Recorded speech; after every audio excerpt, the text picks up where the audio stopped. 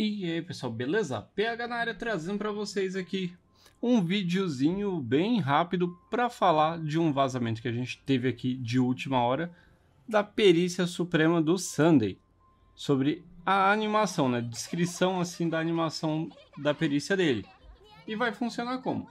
Lembrando que para quem não viu, essa tarde eu postei um vídeo aí falando sobre os novos sets né, de relíquias que vão chegar na 2.6 um deles, inclusive, é a roupa do Sunday todinha. Então, nada mais lógico do que também começar a vazar as coisas do Sunday. E qual que é a descrição da animação da perícia suprema dele? Vamos lá! Já estão dizendo que ele fica exatamente igual a Apônia, por assim dizer, né? Sunday virando uma versão aí da Apônia no universo de Star Rail. Por quê?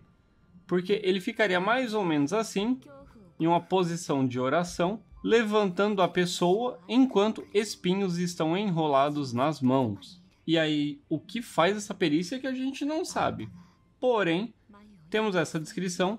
O que, que vocês acham disso? Gostaram, não gostaram? Gostam da Apônia? Inclusive, né, lá do Honkai Impact? Não gostam? Já comenta aí o que, que vocês acham que essa perícia suprema vai fazer, já que ele vai levantar a pessoa né, enquanto os espinhos se enrolam nas mãos. Já vai comentando aí pra gente ter uma ideia do o que, que ele vai fazer. Lembrando que o Sunday ele vai ser da harmonia, então ele é buffer. Vão deixando aí nos comentários conforme for vazando mais coisa, principalmente do Sunday. Eu vou trazer pra gente. Só que por hora eu fico por aqui. Valeu, falou e até a próxima.